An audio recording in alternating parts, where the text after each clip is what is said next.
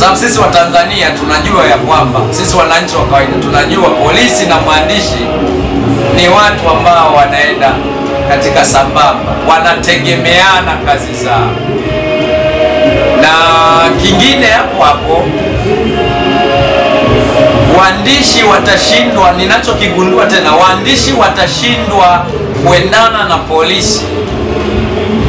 Kwa uchunguzi wangu, ninaona waandishi wengi wameingia kwenye mkumbo, yani wao tamaa itawaponza kama mwanasiasa, yani yuko tayari kuripoti kitu kwa sababu amepewa fedha, na yuko tayari kuleta vurumai kupingana na polisi kwa sababu tu amepewa fedha na chombo fulani au na chama fulani.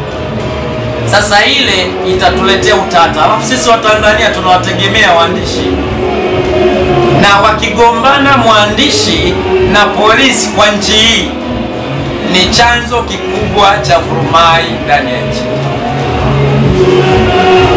Lakini tena polisi wajiadhari, wasichukue kila tu amri ya kuwapiga waandishi, wao wanazichunguza ndani yake, kama kuna mkono ulio kinyume na taratibu za utendaji kazi, wawe rahisi kukaa chini na kusema pana kwamba hapana, hili tutakosea.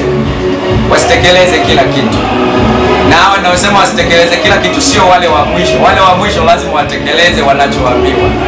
Wale wanaoamlisha sasa ya kwamba nendeni kafanyeni kitu hiki, wao wanakaa chini na kuangalia ni kitu gani, kila mtu ajue mipaka yake. Mi naona wataishi vizuri. Polisi asiyejua kuangalia naliona linayumba,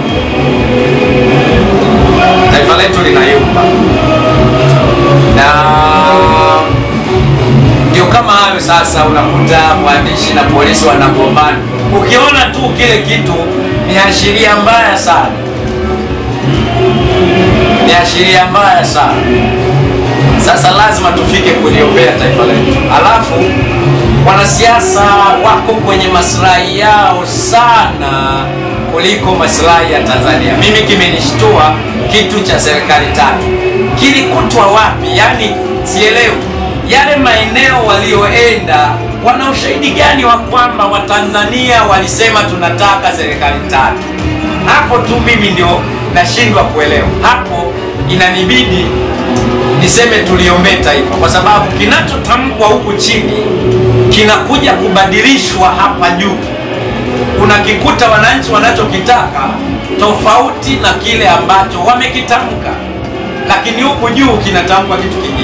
Kwa hiyo kuna umuhimu wa kuombea taifa, ili unapompata kiongozi mwakilishi wa mwananchi awe anaongea shida ya mwananchi, sio shida ya yeye mwakilishi wa wananchi, kwa sababu itakuwa hatari. Mwakilishi anamshawishi mwananchi kitu anachotaka yeye mwakilishi ndicho mwananchi akitake, wakati yeye anaumia mwananchi.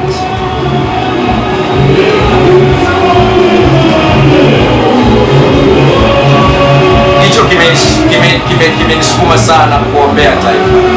Alafu tunaona vyama vyama ambavyo ndivyo mfumo wetu wa Kitanzania ndiko tunapopata viongozi wa wa kuongoza nchi, havijakaa salama, yani kila siku ni kugombana.